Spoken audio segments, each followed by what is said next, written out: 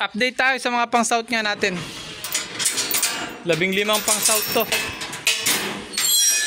Tapos may isa pa tayong pinagagaling dun, yung choco, dun sa kulungan ng kawayan. Bali, labing anim yung pang south nga natin.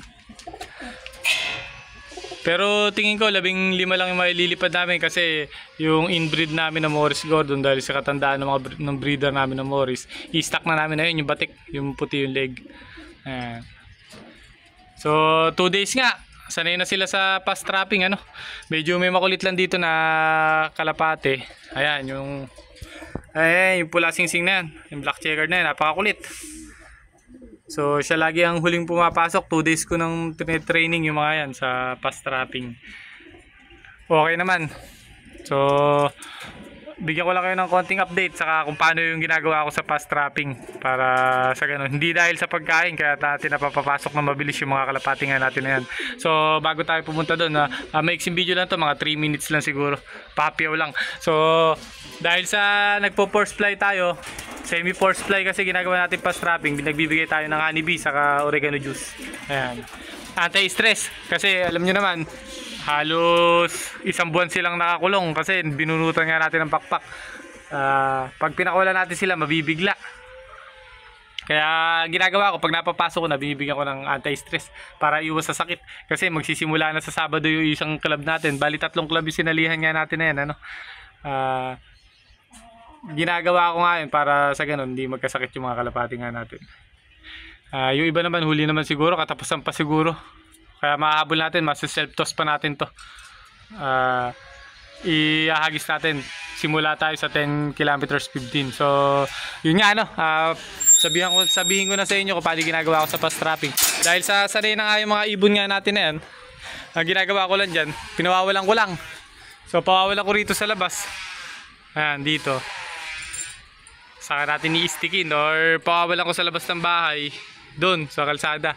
Tapos, pansin nyo, tinanggalan ko ng mga ah, dahon yung puno para hindi alangan.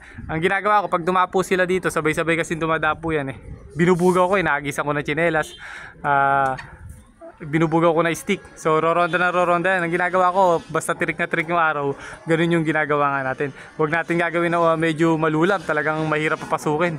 Tatambay lang sa gitna. Pagka tirik na tirik yung araw, sigurado, hindi sila tatambay sa gitna dahil may initan sila doon. At mauuhaw, kaya ginagawa nila, dadapo na kagad sila dito sa baba. Dahil nga sa lagi natin binubugaw, hindi pwedeng tatambay sila doon. Dadapo dyan, ini-stick natin. Yung stick ko naman guys, ako ano yung stick na ginagamit ko nung, nung umpisa. Ah, hindi hindi ko binabago kasi maninibago yung kalapate, magiging dating binubugaw. So 2 days lang naman ganun ginawa natin. Pero yung iba nating kalapate doon pa rin pumapasok. Hindi pa sanay dito kasi doon nga natin sinanay. Pero halos lahat okay naman na. Bukod doon sa pulang pulang singsing na to. Ayan. Yan, napakakulit yan. Yan, laging nahuling umuwi. So, yun lang, ano, ganun lang ginagawa natin. Tapos, papasasalubungan natin ng anti-stress. Tapos, ang pakain natin, binabawasan ko ng konti. Para sa ganun, malaman ko sa hapon or kinabukasan kung magtutunaw sila. Kasi mahirap na pagka hindi nyo binawasan ng, ng pagkain, ah, stress yung ibon. Kasi parang pino-force play ko, binubugaw ko kasi ayoko na tumatambay sa bubong para mapapasok natin kagad. Kaya nai-stress yung ibon. So, hindi tulad ng ganitong discarding nga na ginagawa nga natin na to. Ah, may pansalubong kagad tayo sa anti-stress nga nila. So yun, ganun lang yung ginagawa nga natin ano. Ah, pabibilisin na lang natin yung video para hindi kayo mabagot sa ginawa nga natin video. So sa mga newbie nga, pwede nyo gawin to pero wag nyo gagawin sa mga bago nyong kalapate or sa mga young bird. Ito kasi mga batikan na tong lumilipad. Kasi once na ginawa nyo yun sa mga bago nyo sinasanay pa lang, ah, baka humanap ng ibang dadapuan yun.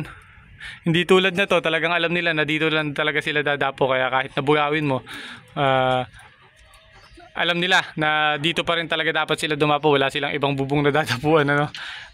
Pagka kasi mga young bird pa lang yung ah, sinanay nyo or ah, binugaw nyo sa bubong, hahanap, hahanap yun ng dadapuan na medyo mataas. Tapos once na masanay na sila doon, pwede yung mga bago nyo tuturuan, ah, doon na rin dadapo. So masakit sa ulo yun. Sakit sa ulo mangyayari sa pagkakalapati nyo kapag ka. So yun ang iniiwasan natin sa young bird. Kaya sa young bird, ang ginagawa kong diskarte naman, ah, halimbawa, isang buwan na sila, dalawang buwan, Nagte-tape ako pag isang buwan na, kumpleto na ipakpak. Yung hindi nahahaba kasi pagka hahaba yung paipakpak tapos tinipan nyo, masisira yung mga papahaba pa lang. So, tetapan ko tapos ilalagay ko sa taas ng bubong. Ah, isang buwan sila or 3 weeks silang pinakakawalan ko tuwing maga tapos i-sticking ko para sanay na kagad sila sa stick. Hindi naman lilipad sa mataas yan or hindi lalayo. Tapos after kulang dalawang buwan, pinawawalan ko na sila. Pinororonda ko na. So, roronda na sila ng kusa. Tangaling tapat ko rin pinawawalan para hindi pumitik ng malayo. So, katulad nung ginagawa nga natin na to, ang ginagawa ko dito sa mga pang-south nga natin, ah, talagang tinatiming ko ng mainit yung araw para kung sakaling bugawin natin kasi pagka sabi ko nga pagka hindi mainit yung panahon at binugaw nyo sa gitna lang ng bubong pupunta yung kalapate so tinatiming ko sa mainit para pag pumunta sila sa gitna ng bubong ah, pansin nyo naman yung bubong ng bahay nga namin dito sobrang taas Ah, hindi, hindi ko na sila mabubugaw pagka malamig. Pero pagka sobrang init at dumapo sila sa gitna ng bubong, siguradong bababa, hindi sila makakatiis. Bababa't bababa. So, pagbaba namang kalapate, yung ini-stick natin, yung ibang matitigas ang ulo, ah, lumilipad ulit sa bubong. Binubugaw ko ulit yun. So, talagang alam nila na wala silang panatag sa labas. Pero pagka, pagka pumasok sila sa loob ng loft, panatag na sila. Kumbaga, wala nang bubugaw sa kanila. So, ganun lang yung ginagawa nga natin. At pang 2 days pa lang naman yan, ano? Pang 2 days ko pa lang ginagawa. Bali, pang 3 days bukas. Biyernes. Tapos Sabado pahinga sila. Linggo gagawin ko yan baka sakali sa linggo. ah mag-video na tayo kung paano yung ginagawa kong fast trapping. Kasi wala sa ating taga-video ano. Ah, medyo tinututukan ko ngayon dahil sunod-sunod naman yung day off ko. Ah, ako muna tututok dito para mapatino natin yung mga kalapate. So sana swertihin na ngayong season. Ayan. Kung napapansin nyo yung mga kalapate natin, stress na stress. Oh. So yung nakaraang video natin, talagang magaganda ang itsura. Kasi hindi pa sila pinawawalan. Talagang kain, pahinga lang ang ginagawa nila. Ngayon, ayan. Talagang pangbugbugan.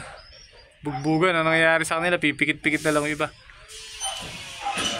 Kaya eto hindi ko tinatanggalan yan pagka ganyan para sa ganun. Kasi madedehy- madedehydrate yung kalapati nga natin.